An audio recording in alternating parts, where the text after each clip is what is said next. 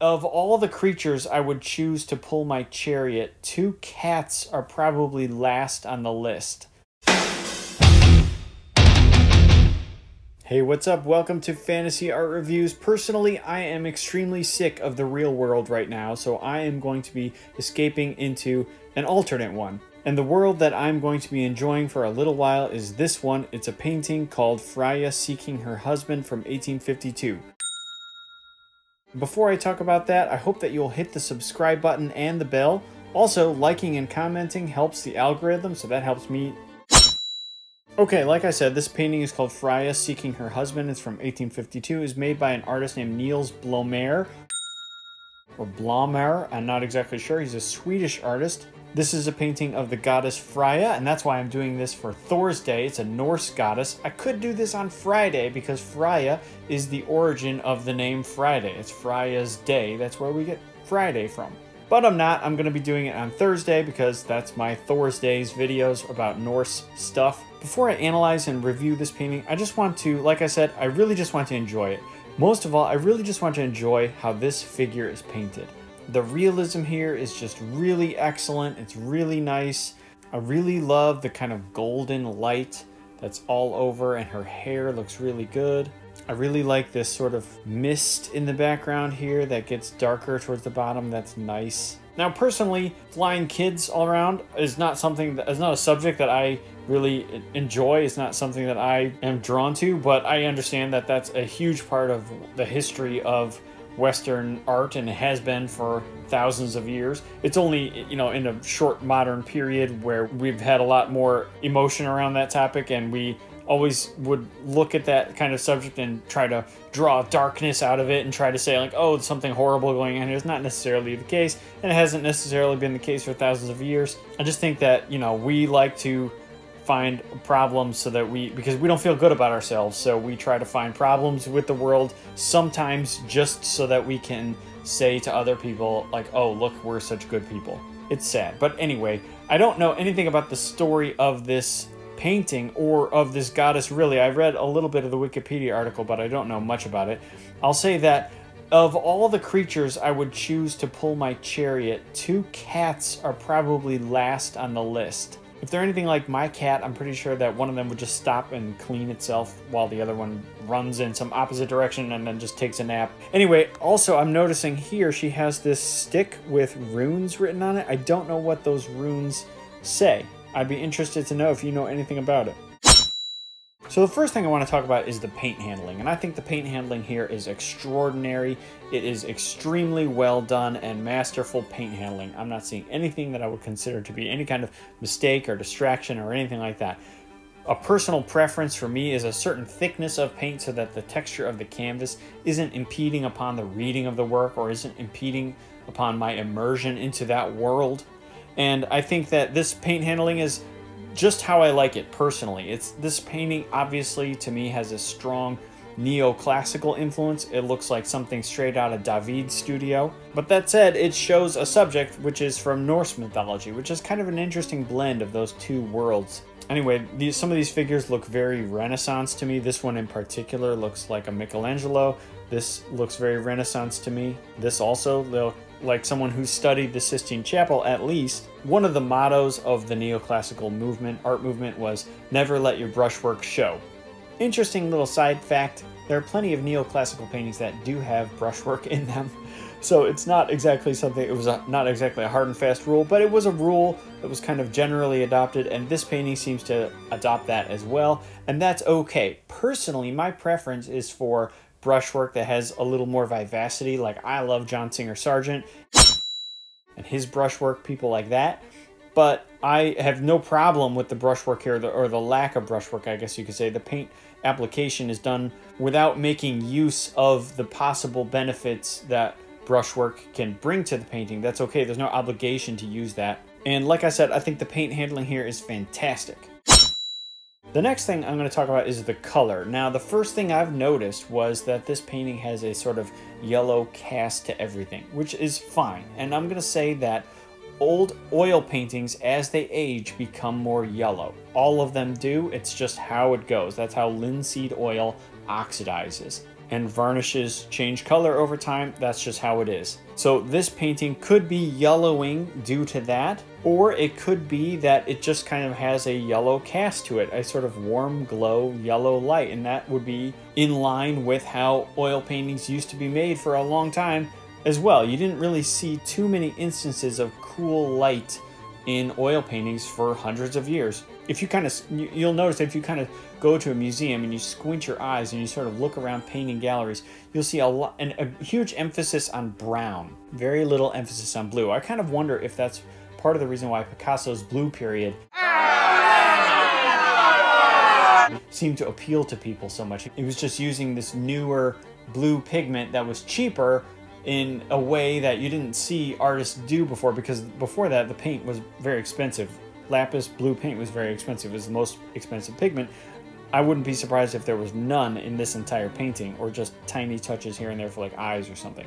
So anyway, given those things to talk about regarding yellowing and warm uh, color, warm tones and light being a predominant trend, blue cooler colors being expensive, all that stuff, if all that wasn't a factor, there's something that I personally think would benefit this painting, and that would be if it had a, can, a kind of counterpoint to this yellow light somewhere. Like for instance, perhaps down here, if there was like a cool light that was reflected back on these figures, down here perhaps, or even just down here, there was kind of a cooler tone to counterpoint that. It wouldn't even necessarily have to be reflected on her face, uh, just something to kind of offer a counterpoint to the warm light, thereby making that the effect of that warmth stronger. That's just me personally. I don't know what you what do you think about that? Let me know in the comments. And something else that I really want to talk about is the pose. But before I do that, I hope that you will check out my store on Society6 in the link below. I've got this image there on products that you can purchase. I've also got all kinds of other images there that you can buy on t-shirts, mugs, stickers, iPhone cases, prints, all that stuff, all kinds of other stuff. Christmas is coming, so I'm sure you have something that you need to purchase for somebody who enjoys fantasy art as much as you do. Anyway, like I said, it's in the link below. I hope that you will check it out. Okay, now back to this painting. There's something I want to talk about with the pose, and I feel the same way about the pose as I do about the paint handling, about the brushwork, or a, a, lack of something there that there's no obligation to do that. And that is that she's standing in a very kind of, I wouldn't say it's bland, but it's not particularly expressive. Her face is not particularly expressive. And I think that that's okay. There's nothing wrong with that. It's just that there might have been some kind of opportunity to do something different, but there's no obligation, especially because there's nothing going on in the scene that would justify or necessitate her having some kind of extreme emotion or some extreme pose. And I'm noticing that even these kids, there's a kind of a stiffness to the pose, to the poses, and even in an attempt to make something more dynamic here, like for instance here or here, it just has you know, the stiffness that old oil paintings appear generally to have for the most part, most of them throughout the history of art, have a kind of lack of movement, shall we say. That is in part due to the difficulty of making oil paintings. I suspect that this painting was done in the traditional way at the time. That is, you had a model, you sat her down, you made drawings of her, you made probably a preliminary painting of her, you had her sitting on a stage, perhaps, you had her lit, but you had a long process involved in creating this image. So you had a person here, a young lady, who had to sit still for a long period of time. If she was smiling or doing something very expressive, that tends to look very stiff and weird. It takes, I think, a highly skilled artist to make a figure that looks very representational also look very expressive in the days before photography. So that said, I can just imagine that this young lady was sitting on some kind of chair or something like that. And while here there's a kid holding up her arm, I'm pretty sure that in the studio there was some kind of box or something like that holding up her arm there. And that's fine. And I think that this artist really worked with that limitation of image creation at the time to make a very nice painting. Also, I'm going to say that he seemed to avoid a mistake that other artists who had the same limitations have not avoided. Like for instance, here is a painting by Bouguereau. Now Bouguereau is an artist that I feel very mixed about. There are things that I absolutely love about his work. Love it. And there are things that I do not like at all about his work, and then and then there's a mix for most of the other ones. You probably love Bouguereau. I think most people really love his work. And this painting has a lot of virtues. There's a lot of really nice things about it, but it has one thing that I consider to be a mistake, and that is the I guess you could say the integration of this figure into the scene, and that results from the painting process at the time. And here's what I mean. So you'll notice that she's standing, or I'm sorry, laying down on this flat plane of sand. However, under her hands here are these sort of angled lumps of the ground. Now, why is it? Why isn't there any kind of like angled lumps over here or over here or something like that?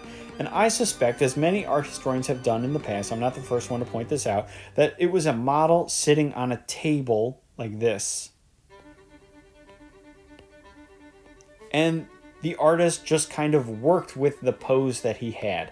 He wasn't the artist to take her fingers and create from his imagination fingers going out this way or here going out this way. That he that wasn't Bouguereau the man. He wasn't going to do that. He was going to take what he was given from nature and work with it. And that's what he did. He came up with a justification for why her fingers are pointed down that to me looks a little weird. So it's a weakness. It's a weakness of the painting, in my opinion. It takes away the immersion. It's like seeing the strings on the puppet. But, you know, I'm not saying it's an enormous deal. I'm just saying it's a little bit of a deal if you really want to review artworks like I do. It kind of reminds me of this. So this is a Roman sculpture, and it has this little support here. And you as a viewer are just sort of asked to look past that that is a that is there for a physical reason. It helps support this arm that would have broken off. I guess it did break off anyway, but it during the, you know, when the arm was still there, the artist thought that the weight was too much and that it was going to break, so he put this support here. It's kind of a weakness that you just can't really get around that often, and that's just the way it was. So that said, given those limitations or given that process of creating this image, I think that this artist worked with it very well, and I don't think he made the mistake that Bouguereau made. I think that he integrated it into the scene just fine, which is a really nice thing. Okay, so the last thing I want to talk about is composition, and I'm going to talk about something that's extremely simple, and I think every artist who sees this would say, okay, that's really obvious, you don't have to point that out to me. Why are you going so in depth in this extremely, extremely simple little topic? And that is about this edge in the background here. I'm noticing that this edge is a being used as a tool to enhance something about the image. It's a tool that many artists have used for hundreds of years. And the idea is that when you have a sort of line like this behind the subjects, it helps them to stand out. It helps increase your reading of them as dimensional. It helps further convince you that what you're looking at, and remember, when this was made, there was no photography, there were no, I mean, I guess there was a little bit of beginning of photography, but the intention was that you see this in person. There was never the intention that you'd go that you'd be seeing this on a tablet or in a book or anything like that. You'd be seeing it in person. So you'd know, because you have two eyes, you'd know that it's a flat plane, it's a flat canvas.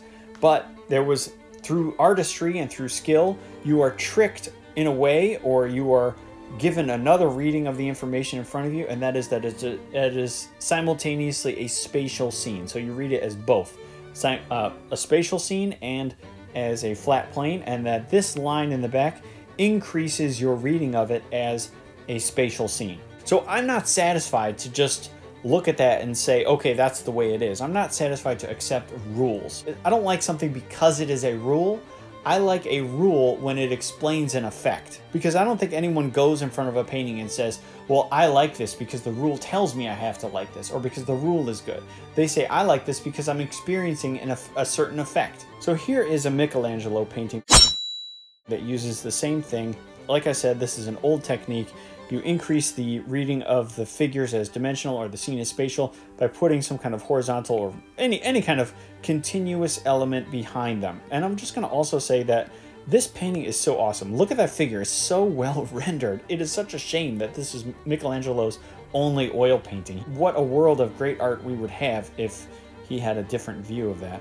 Anyway, so let me kind of explain what I mean. Here are some shapes. You could say this is a shape, this is a shape, this is a shape, and that they all are just laying together flat on a plane. However, when you go some when you manipulate it and you put it like this, you might read it differently. You might read this as uh, a bar or some kind of object with something behind it. So you're reading it now as spatial. And why is that? That to me is very interesting. I want to dig deeper. I want to understand how the mind works as an artist because I want to use that information in the creation of my work. So why is that the case that you're reading that as spatial? And the best summary of that process that I've come across yet is from an, a, a Gestalt psychologist named Rudolf Arnheim, and he said that your brain, that your mind wants to perceive the data in as simple a manner as the conditions allow. So your brain wants to see it as simple as it possibly can. So it's more simple to view this as a horizontal line behind a bar than it is to view this as a shape, this as a shape, this as a shape, and all these as distinct shapes with no connection spatially to, between them. So to me, that's extremely interesting. That explains why you don't read this shape as something like this, and instead you read it as objects in the front with another shape in the back. So you don't just say, well, I just trust it, or I just um, I just do this because other artists have done it. Now you can say, well, I want to achieve this effect or I don't want to achieve this effect. Okay, that's all I have to say about this painting. I hope that you enjoyed that. I hope that you will comment. Let me know what you think. Did you like it? Did you not like it?